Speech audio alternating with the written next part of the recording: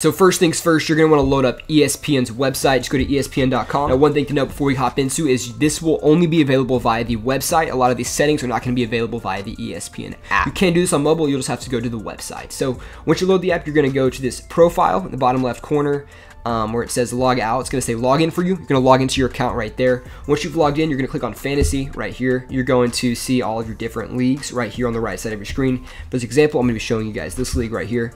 Um, you're going to want to go to the team settings right here. A couple things you can change right here. Your team logo, your team name, or abbreviation for things like that. But um, the majority of the settings are going to be available to be changed up here where it says LM Tools. Now, this will only appear if you are the league owner or league manager of the league. And from this page, there's going to be a lot of things you can change. Edit the league managers right here. If you'd like to invite different managers to your teams, you can do that right there. If you'd like to add teams to your league, delete teams from your league. If you'd like to assign certain teams uh, league managerial powers, you can do that right here. Edit the roster settings if you would like to um, edit maybe the number of quarterbacks or different things in your league, you can do that from this page right here.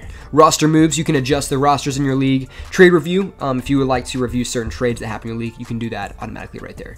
Um, edit the draft settings if you're looking to change your draft type to a, uh, a snake auto pick, or if you're looking to do an offline draft, which means your league is going to draft outside of this, you can change to that right there. Yeah, input offline draft results. You can do that right here if you have done your drafts offline. If you look to edit the draft order right here, same thing. You can click edit and you can drag teams to whatever order you would like them to draft from.